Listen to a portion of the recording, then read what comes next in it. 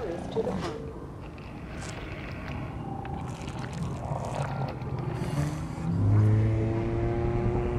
Ladies and gentlemen, we are pleased to welcome a tourists to the park.